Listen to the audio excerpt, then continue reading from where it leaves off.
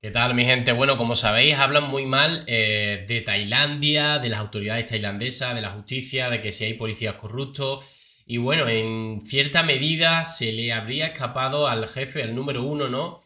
De la comisaría, se le habría escapado que forzaron un poco a Daniel Sancho para que confesara. Eso no significa, eh, con lo que estoy diciendo, ni lo estoy blanqueando, ni estoy queriendo decir que él no lo hizo, sino que le apretaron. A ver, yo entiendo que eh, un policía pues tiene que intentar que, hable y tal y cual, pero que da, a entender con, con, lo que vamos a ver ahora que le estuvieron apretando las tuercas, ¿no? Así que bueno, vamos a ver qué es lo que ha pasado en, vamos a ver, el programa este de, eh, de Joaquín Prat, que bueno, ahora se llama de otra manera. Disculpar que le corte un poco la cabeza, pero mm, como sabéis, vamos a reaccionar a bastante, bueno, prácticamente tres minutos y no quiero tener problemas, ¿vale? Así que. Con un tema que ayer ya nos dejó conmocionados, tiene que ver con eh, la primera visita de Daniel Sancho en compañía de la policía a la escena eh, del crimen, a ese bungalow en el que presuntamente acaba con la vida de Edwin. O no tan presuntamente porque él mismo ha confesado. Em, Hemos hablado con el jefe de la investigación que nos ha concedido una entrevista en la que revela las sospechas que tuvieron y los no, no es el famoso Big John, ¿vale? Es otro. Motivos que les llevaron a la detención de Sancho. Hola Álvaro, de nuevo. ¿Qué tal, Joaquín? De nuevo, muy buenos eh, días, muy buenas tardes desde aquí, desde Cosa Muy. Bueno, antes, como te decía, vamos con esa última hora. Hace unos minutos ha llegado la madre de, Daniel Sancho hasta esta cárcel de Samuy. Lo hacía eso de la una de la tarde aproximadamente, llevaba justo. Bueno, curioso que no hayan coincidido eh, Rodolfo Sancho ni la madre. Que la madre no haya ido en siete días es cuanto menos curioso, ¿vale? En otro vídeo lo comentaremos porque esto, esto eh, no, quiero mezclar tanto ni hacer un vídeo muy largo, ¿vale? Con lo cual lo comentaré en otro vídeo, pero ya os digo yo que, es extraño y que tiene un porqué, ¿vale? Así que seguramente si estáis pendientes del canal, eh, si no ha salido ya, saldrá dentro de poco ese vídeo en el cual, eh, pues bueno, voy a hablar sobre la relación real que están filtrando sobre Silvia Bronchalo y Rodolfo Sancho, los padres de Daniel siete días eh, sin venir. Eh, lo hacía con gesto muy serio eh, y bastante conmocionada entrando en esta prisión. Estuvo unos 15 minutos aproximadamente y evidentemente, como viene siendo habitual, no respondió a ninguna pregunta de la prensa. Y como decíamos, es la treceava visita de la madre de Daniel Sancho que esperó a que se marchase su ex Rodolfo Sancho para volver a esta prisión de Cosamuy. Hoy les vamos a traer, como decimos, también ¿Veis lo que os decía? Eh, ha estado esperando siete días para no coincidir con él y al final incluso anteponiendo de que, de que no iba a ver a su hijo, ¿no? Cuando podía ir, haber ido perfectamente con a visitarlo, pero bueno importante material. Eh, como les avanzábamos ayer, eh, hemos tenido acceso a parte de ese sumario del caso que ya está prácticamente cerrado. Y dentro de ese sumario, que después le vamos a ampliar mucho más, hay un documento donde la policía deja por escrito que Edwin Arrieta y Daniel Sancho llegaron a Tailandia siendo pareja durante al menos un año.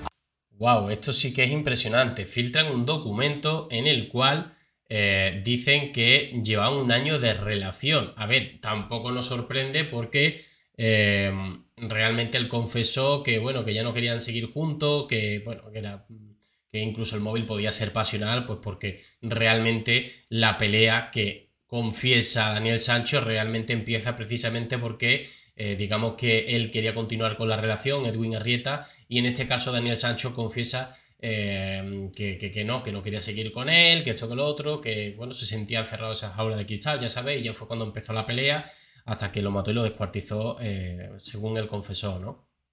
Habla justamente...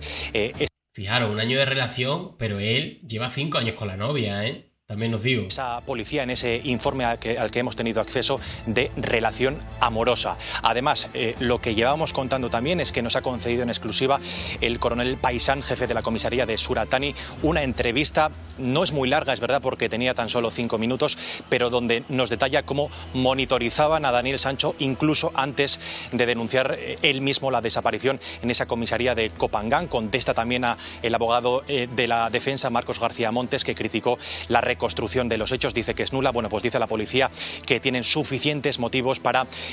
A ver, yo creo que es que García Montes, eso de nula, yo creo que es para meter un poco de presión. Yo creo que ahí se estaba confundiendo. eso de decir que era nula y tal y cual. Entiendo que hay cosas que a lo mejor no se hicieron bien según la ley en España, pero hay, que, hay, que, hay que conocer en Tailandia que funcionan las cosas distintas y punto. Es que estamos valorando las cosas mm, desde el punto de vista en España. No es que en España tiene que haber un abogado, no es que en España mm, se tendría que haber hecho así, asado, en fin. Es que en Tailandia, pues las leyes son distintas, para bien o para mal, pero son distintas, no las estoy criticando y es lo que hay. Eh, bueno, pues acusar a Daniel Sancho y sobre todo deja en el aire si hay más implicados o no. Asegura, dice que de momento no tienen indicios, pero que tienen que dejar avanzar la investigación. Esto es un avance. Bueno, en teoría, en teoría eh, dejan el aire como si hubiera tenido alguna especie de ayuda. Eh, pero bueno, no. Simplemente lo único que ha dicho es que sigan con la investigación. Realmente no creo, no creo que esté queriendo dar, a entender el reportero que, que, hay una tercera persona implicada, ¿no? Simplemente que, bueno, le han preguntado, porque también es un tema muy recurrente, el tema de preguntar sobre una tercera persona, eh, y lo único que ha dicho es que, que bueno, que dejen pasar la investigación, eh, que sigan trabajando y, y ya serán informados. ¿Lo vemos? Vemos ese avance. Creemos que Daniel mató a Edwin porque tenemos múltiples pruebas. Tenemos las cámaras, el ADN y testigos personales. Para empezar, lo que sabemos a grandes rasgos es que los dos se conocían y concertaron una cita para viajar juntos a Copangán. Quedaron juntos para quedar a Copangán. Hombre, yo me imagino que cuando los dos se conocen, hemos visto, hemos visto fotos en Madrid que se conocían, que, que esto es verdad, ¿no? Eh, y de repente pues vemos que los dos están en Tailandia, en el mismo sitio, será porque han quedado, ¿no? Llegó un momento en el que Daniel aceptó lo que había hecho. Tenía muchos remordimientos y en cuanto empezó a confesar todo, se derrumbó. Es decir, que en cuanto le apretaron un poco a, Sancho, eh, el hombre confesó haber matado a Edwin. Es que incluso hay aquí un medio digital, ¿vale? Os lo voy a poner ahora un poco más centrado. Hay aquí un medio digital como La Vanguardia eh, que bueno, recogen, recogen más eh, declaraciones y dice que incluso se pone a llorar, ¿no? Que, confesó, lloró mucho. Dice este, este policía, este comisario, creo que es el número uno, creo que es el que está por encima de, Big Joke, ¿no? Porque se dicen que es el jefe de la comisaría, no, no sé, no, sé si, no sé, no sé si está por encima, pero bueno, es, el jefe de la comisaría y, y, bueno, es el que está admitiendo que le apretaron un poco las tuercas que insisto, yo no voy a valorar porque yo eso no lo sé, yo eso no lo sé, si en Tailandia esto se puede no se puede hacer sin abogado, con abogado, con lo cual en este sentido eh, me pierdo, pero sí deciros que, oye, el documento ese de que un año de que estaban juntos, en fin, todo hace indicar y que lo tiene muy complicado Daniel Sancho, evidentemente, de que hay muchas pruebas y que por mucho que diga Marco García Monte, me da la sensación de que, de que va a ser muy complicada esta faena que, que, que le ha tocado torear. Mi gente, nos vemos en el siguiente vídeo. Un saludo.